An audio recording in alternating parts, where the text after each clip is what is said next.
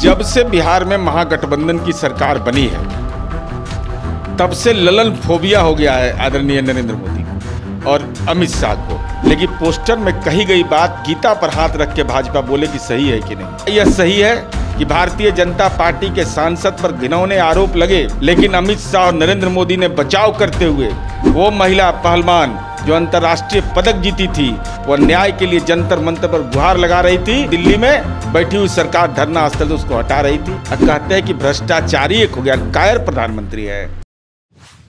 नमस्कार, मैं कृपा से आप इनसाइडर लाइव देख रहे हैं। आज गृह मंत्री जी का बिहार दौरा हो रहा है। पूर्णिया, नवादा के बाद अब वहाँ मुंगेर जा रहे हैं, लखीसराय में, गांधी मैदान से। हुंकार भरने जा रहे हैं अब। एक तरफ़ आप लोग विपक्षी एकता की बैठक किए अब गृह मंत्री जी आ रहे हैं, बिहार में। कह रहे हैं कि विपक्ष डरा हुआ है। आदरणीय गृह मंत्री जी हुंकार रैली करें, लेकिन जनता दल समझती है, चित्कार रैली कर रहे हैं। चित्कार इस संदर्भ में कि जब से बिहार में महागठबंधन की सरकार बनी है, तब से ललन फोबिया हो गया है आदरणीय नरेंद्र मोदी। को और अमित शाह को। पूर्णिया आते हैं, तब कहते हैं ललन बाबू का नाम। हिसुआ आते हैं, तब ललन बाबू का नाम। अब तो लखीसराय चले। मैं चुनौती दे रहा हूँ आदरणीय अमित शाह जी।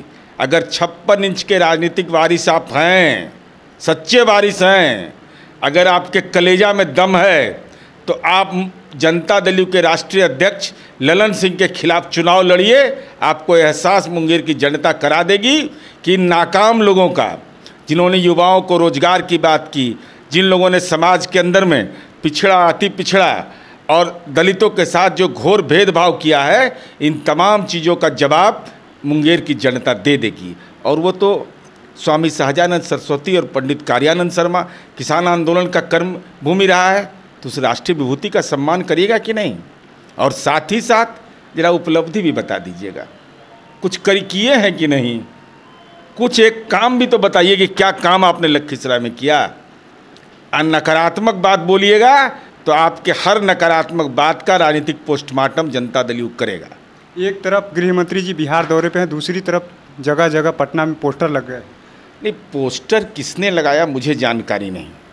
लेकिन पोस्टर में कही गई बात गीता पर हाथ रख के भाजपा बोले कि सही है कि नहीं?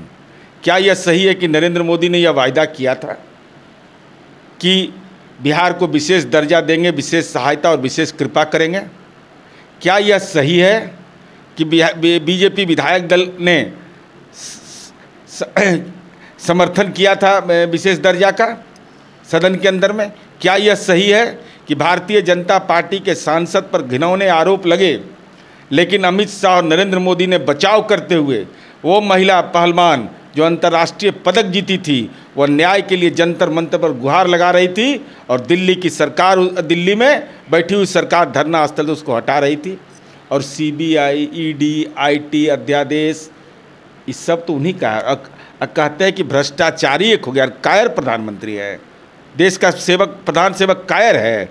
प्रधानमंत्री बोले कि से भ्रष्टाचार बढ़ गया है। प्रधानमंत्री बोले कि आतंकवाद बढ़ गया है। प्रधानमंत्री बोले कि से समाज में अराजकता पड़ गया। इसका आप आप आप कर्महीन है राजनीति के। राजनीति में आपको कर्म से पर भरोसा नहीं है। वो कहे हैं कि विपक्ष तुष्टिकरण की राजनीति करता है हम संतुष्टिकरण की नहीं राजनीति नहीं बिल्कुल बिल्कुल। ये सब मुहावरा जुमला अब नहीं चलेगा। मोदी जी काला दिल वाला है आपके दिल में इतना जो अल्ट्रासाउंड का रिपोर्ट आपका आया है ना अभी कर्नाटका चुनाव में उसमें बहुत गंदगी है। पूरा राजनीति का फेफड़ा इनका संक्रमित हो गया है। अरे भाई, संतुष्टिकरण किसको कहते हैं? जो समाज के सारे तबके के लिए काम करते हैं। आप, वह गुनाहगार हैं कि पिछड़ा और अति पिछड़ा बच्चों को छात्रवृत्ति कक्षा एक से आठ बंद कर दिया। बाबू जगजीवन राम छात्रावास योजना बंद कर दिया। दस प्रतिशत जिनको आरक्षण मिल रहा था, जिनको आपने बैकवर्ड माना, उनको आप स्कॉलरशिप नहीं दे रहे हैं। पुरखों का अपमान कर रहे हैं तो आपसे बड़ा अपमान करने वाला कौन है? इसलिए आप तुष्टिकरण आप करिए सत्ता के लिए तुष्ट होइए। जनता देश की जनता 2024 में फर्जी सेवक नहीं प्रधान सेवक खोजती है। शिक्षक नियमावली पर सवाल खड़े हो रहे हैं। आप ही के पार्टी के गठबंधन के लोग सवाल ये गठबंधन का घटक दल है आपस में विमर्श करके इन बातों पर एक और सवाल है कि जिस तरीके से कल नीतीश कुमार मुलाकात करने गए राजभवन और सुशील मोदी पहुँचे इसको लेकर के सियासी मायने भी निकाले अरे वो मीडिया में चर्चा निकलती है इसका कोई सियासी मायने नहीं।